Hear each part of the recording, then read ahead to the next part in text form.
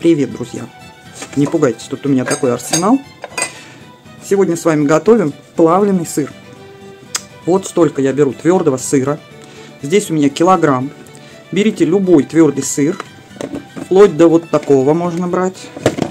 Вот, если у вас залежал. Видите, вот терла, не дотерла кусочек. В общем, так вот тут надо срезать чуть-чуть. Латекс остался. То есть вот у меня килограмм. Кило 100 минус чашка твердого сыра. Это сыр типа голландского, мой сыр, домашний сыр. У любого сыровара бывают какие-то не, неудачи, назовем это так, да. Вот я сварила сыр, я всегда все свои сыры обязательно пробую. Мне не очень он понравился, значит идет переработку. Так, весы пока убираю в сторонку. Что же нам потребуется? Значит, нам потребуются точные весы, потребуется сода, обычная сода, потребуется лимонная кислота. Если у вас есть сыроплавитель, берите сыроплавитель. У меня его нет, я его сейчас буду делать сама. Нам потребуется масло сливочное. Нам потребуется молоко. Молоко здесь это бутылка у меня от покупного, а здесь молоко у меня фермерское, деревенское. Значит, чашечки. Дальше кастрюля с двойным дном или кастрюля с водяной баней. То есть будете делать водяную баню. Мерный стакан терка или комбайн. Я еще не знаю, сейчас попробую, если на терке плохо пойдет, достану комбайн. Я не комбайн доставать. Итак, с чего мы начинаем? Значит, э, сначала отмеряем на 1 килограмм сыра, отмерим нужное количество соды и лимонной кислоты. Итак, ставлю сюда чашечку, обнуляю тару и начинаю отмерять соду. На килограмм сыра нам потребуется 34 грамма соды. Ну вот, не хочет мне давать такой вес. Значит, мы возьмем, так, возьмем вот эти весы, раз те у нас балуются. Обнуляю тару. Почему 1 грамм? 0. Так, и отмеряем 34 грамма соды. Так, отмерили соду.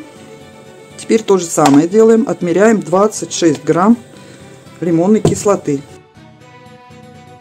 26 грамм лимонной кислоты.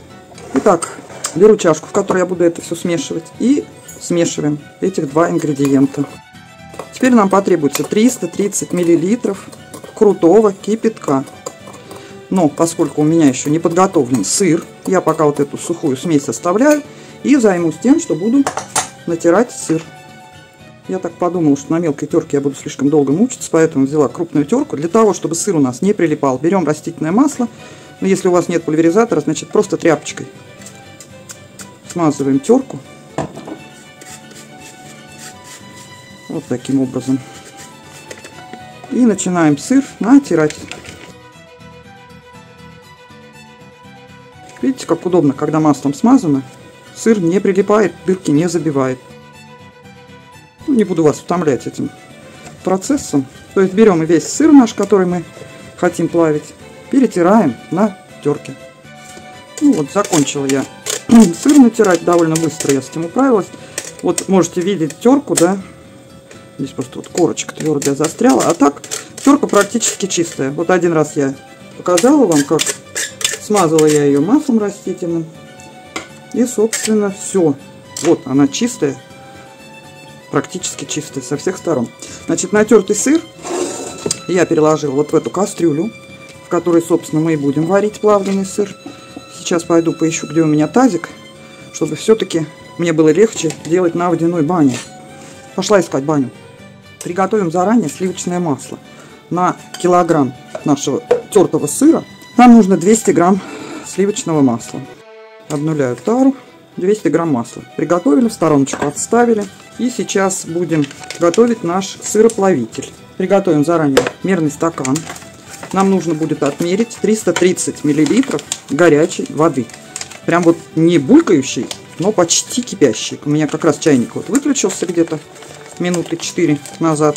Сейчас я отмерю мерный стакан 330 миллилитров. Заранее приготовлю нашу смесь лимонной кислоты и соды. Наш натертый сыр. Так, беру чайник. Отмеряю 330 миллилитров.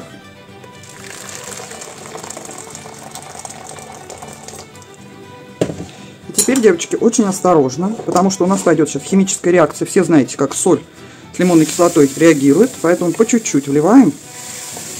Происходит гашение. Такой вот вулканчик. Помешиваем ложечкой. Всю сразу воду не выливайте, а то у вас вулкан будет на столе.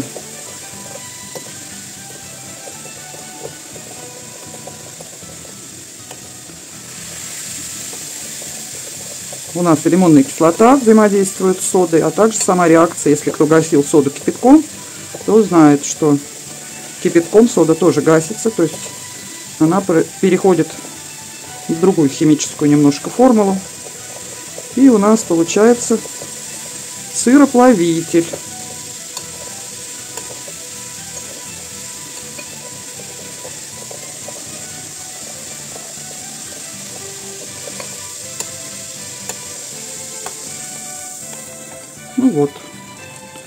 Реакция у нас закончилась. Теперь мы берем наш сыр тертый и вот это все сюда выливаем.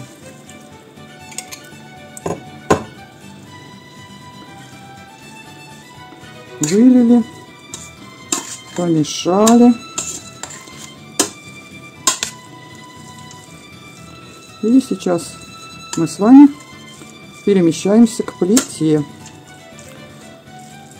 Пусть это даже чуть-чуть постоит вот так, пока мы пойдем на плиту.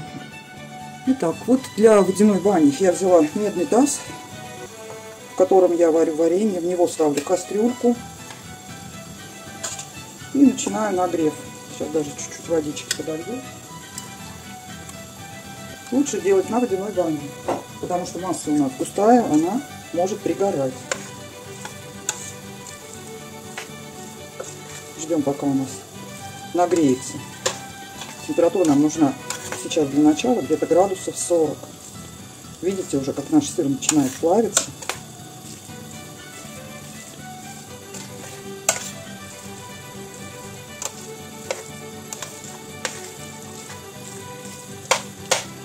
Плавленый сыр вы можете делать с любыми добавками, какие вам нравятся. Орешки, ветчину, может вяленое мяско, какие-то специи, которые вы любите. Ну, вы видели, в магазинах бывает плавленый сыр с разными-разными добавками. Я сегодня, наверное, добавлю немножечко молотого пажитника.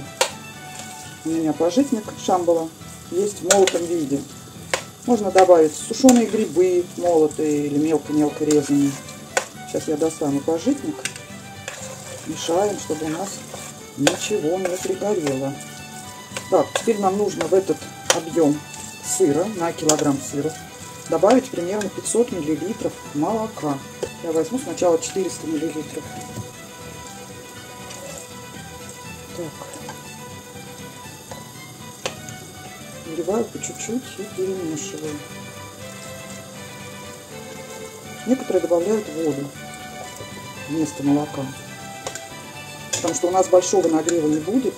И за счет добавления свежего молока, конечно, срок хранения у сыра будет не очень большой. Поэтому смотрите сами.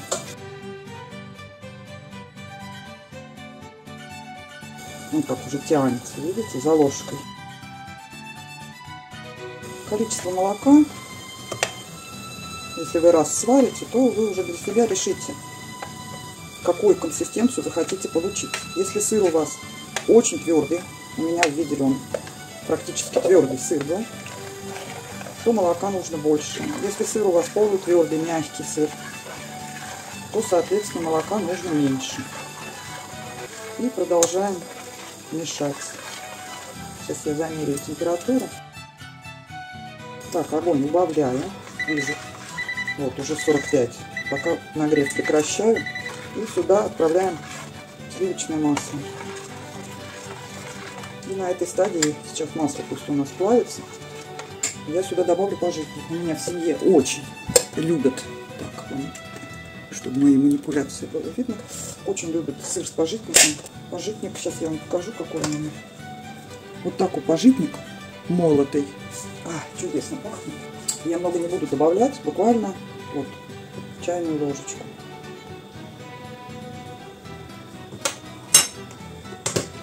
Пожитникам придают такой легкий ореховый привкус. Так, пока нагрев выключаю и оставляю, чтобы масло наше растворилось, пока достану погружной блендер. Все, и оставляем, чтобы наш сыр, молоко и масло, все это между собой подружилось. Вставляем также на водяной бане. Принесла свой новый погружной блендер. Блендер еще новый, почти не использовался. Окошко уже сожрала коробку всю, в которой блендер лежит. Бандитка. Просто бандитка, слов нет. Так она любит эти коробки, желает. Прям вот. Говорят, хлебом не корми. Но кошку-то хлебом особо никто не кормит. Так, блендер приготовила. Помешиваем. Смотрите, если у вас сыр мягкий, возможно, он полностью растворится, расплавится и без блендера. У меня сыр очень твердый был, особенно корочки. Поэтому, как видите, он у меня полностью не растворился. Такие вот плавают.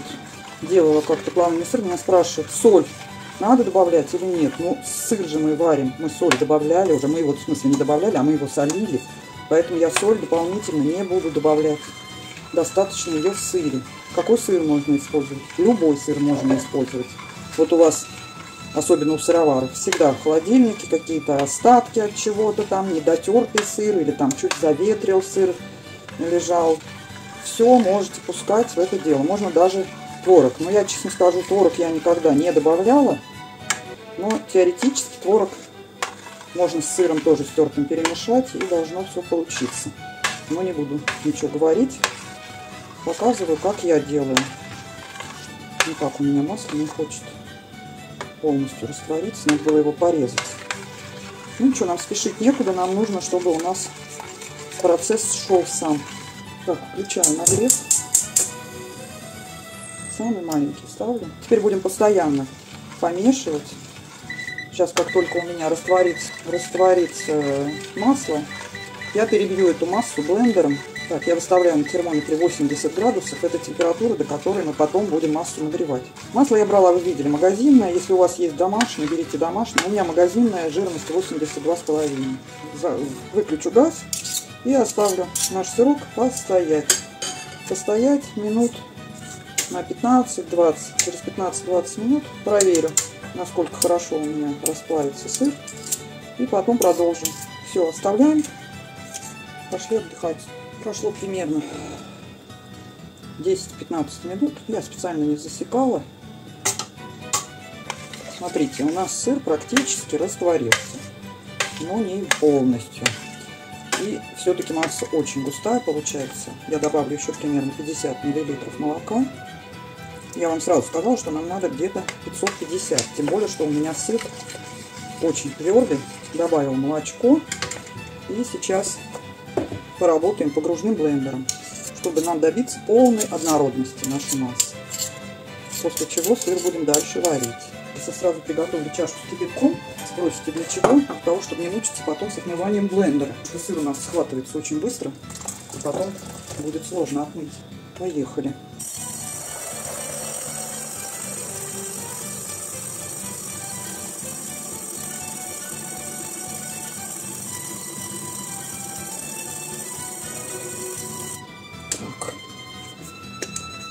Достаточно.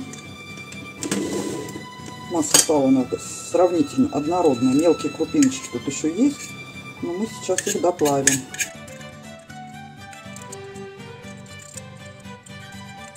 И сразу его в горячую воду. Вот буквально одна минутка, и наша насадка чистая совершенно. Теперь снова включаем маленький нагрев, маленький. Ставлю термометр, потому что нам нужно мешать примерно 20 минут. Включился нагрев. Смотрите, какой он у нас уже. И теперь мы будем постоянно мешать. В течение 20 минут, я сейчас даже таймер себе включу. Набираемся терпения. 20 минут поставила. И мешаем. Греем и мешаем. Сейчас у меня температура 50 градусов. Вот такая масса. Еще, видите, крупинки еще присутствуют. Небольшие. Температуру поднимаем очень медленно, постепенно. И не превышаем 80 градусов. Если добавляете какие-то кусочками добавки, то их после блендера, естественно, добавляйте. Поскольку у меня молотые, я добавила до. Хочу мне кажется, совсем пожитник не ощущается даже у горячего. Нет, совсем не чувствуется. Так что, сколько я добавила, это очень мало. Пробуйте, нюхайте, смотрите. В отношении добавок никаких вам точных дозировок я сказать не могу.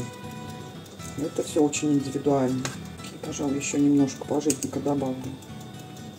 Мне хочется, чтобы был аромат пожитника, а его совсем не ощущается.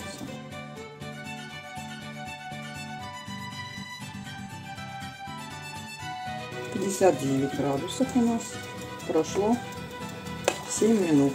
Имейте в виду, что вот пока вы варите, вам может показаться, что он очень жидкий, но он при остывании, конечно, станет более густой. Он и сейчас будет густеть в процессе варки. Но при охлаждении он, естественно, застынет сильнее. Еще спрашивают, не будет ли ощущаться вкус соды. Нет, не будет. Мы ее погасили, она прореагировала, то есть сода как таковая здесь уже не присутствует. Здесь присутствуют производные химические элементы. Если вспомню, как называется, я вам тут напишу, что является вот, сыроплавителем производная от э, взаимодействия соды и лимонной кислоты. 61 градус. Вот чем больше нагревается у нас, тем однороднее становится наш сыр. Меня спрашивали, можно ли качету плавить. Можно, конечно. Можно из качеты делать. Возможно, тогда для желаемой консистенции вам может потребоваться меньше молока, поскольку качет полутвердый сыр. В данном случае я твердый плавлю. Прибавлю газ. У нас по времени 10 минут осталось, а у нас пока 60 градусов. Видите, пожитник начинает всплывать. Поэтому перед тем, как по формочкам разливать, обязательно перемешать. Тут в процессе плавления можете чуть-чуть отложить на блюдечко, попробовать на вкус чтобы понять, хотите ли вы чего-то еще добавить. Вот у меня на блюдечке сыр. Видите, как он уже застывает, то есть он уже не текучий становится. М -м -м, такая вкуснятина. Настоящий плавленый сыр. В магазине такой не купишь. Действительно вкус сыра, а не не пойми чего. Такой сливочный. Добавок у меня сыр был такой остренький, твердый. Вот это очень хорошо чувствуется.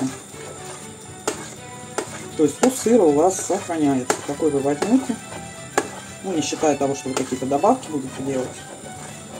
68 градусов у нас. В следующий раз буду делать плавленый сыр с грибами. Чуть мне так захотелось в процессе, но сейчас уже некогда мне лезть доставать белые грибы сушеные у меня есть. Это будет вкуснятина. Так, побулькивает у меня в тазу под кастрюлей. Чуть приподниму. Температура 70. Осталось нам 5 минут от того времени, которое я на таймере выставила. А вам может и видно, а? Не видно. Мне вот как сюда положить. Видите, масса стала почти полностью однородная. Это немножко есть все равно вкрапление недоплавленного сыра. Ну, я думаю, что на бутерброде это нам никак не помешает. Время почти стекло, а я еще до 80 даже не довела. 20 минут стекло, а у меня 72 градуса всего. Придется прибавить газ. Думайте о чем-нибудь приятном, поскольку долго стоять тяжко, жарко, парит плита. Следите, главное, чтобы не пригорало. Я вот так кастрюльку даже приподнимаю. Уже видите, у меня там сразу булькает. Он уже булькает во всем, а у меня все еще 74 градуса все равно эти крупинки остаются. Если хотите прям уж прям идеальной полной однородности, можно еще раз блендером разбить. Я этого делать не буду. Все, выключаю газ, потому что мне уже брызгает на руки. Решеточку, кастрюльку подсунула. Еще раз газ зажгу. Все-таки доведу до 80. Чуть-чуть осталось, 76 у меня. Все-таки у нас тут сырое молоко. Надо его как следует пастеризовать. Ох, не буду вас утомлять. Короче, доводим до 80 градусов, выключаю газ. Так, наш сыр готов. Он получился у меня достаточно вязкий. Я беру силиконовый половничек и по формам разливаю. Вот формочку. Себе делаю завтра на завтрак. Он чуть-чуть у меня постоял, остыл, я перемешала, потому что на поверхности тут же образуется пленочка. Такой остренький получился сыр. Сейчас пока ложку облизывала.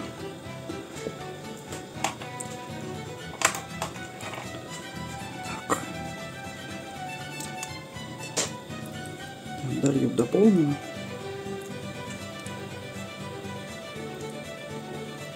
Стороночку.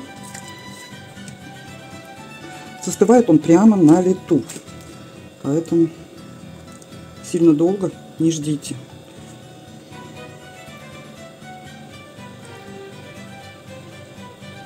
Видите, пленочек сразу образуется. Можно накрыть пищевой пленкой в контакт. И я сразу крышечкой буду накрывать.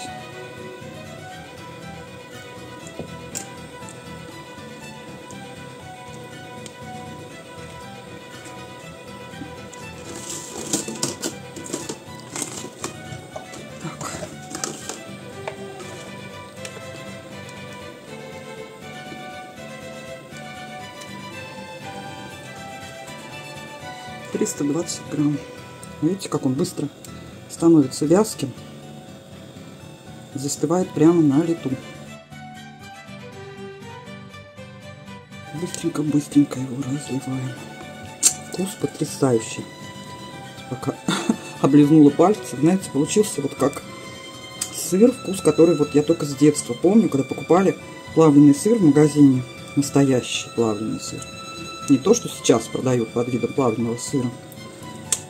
А такой остренький сырный вкус. Потрясающий совершенно. Сейчас я его залью, уберу в холодильник.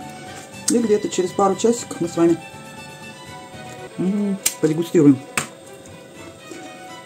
Застывает, прям хоть обратно на водяную баню возвращай. Нам придется на лопаточку взять, чтобы вымокать. Видите, уже все, не льется. Скажу вам так, совершенно не ощущается вкус пожитника. Так что все-таки пробуйте в процессе варки ваши добавки. Потому что настолько сам вкус сыра сильный, что он перебивает все добавки абсолютно. Видите, все уже. Сыр уже застыл. Вот этот мы и будем дегустировать. Все, накрываю крышечкой и убираю в холодильник. Встретимся на дегустации. Так, конечно же, чуть не забыла. Сыроваров, конечно, интересует выход. Да, сколько у нас получилось с килограмма твердого сыра. Потому что сыр я брала голландский. Достаточно, скажем так, дорогой сыр. Потому выход нам очень интересен. Ну и тут тару как бы сами сминусуете. Итого у нас 2 килограмма 136 грамм. Неплохой выход, прям скажем. Кто-то скажет, что это золотой сыр. Но вы знаете, если вы попробуете сделать и попробуете на вкус, то поймете, что это стоит того. Пока все. Пока-пока, друзья мои. До новых встреч. Всего вам самого-самого доброго, хорошего. Пусть все у вас будет в жизни хорошо.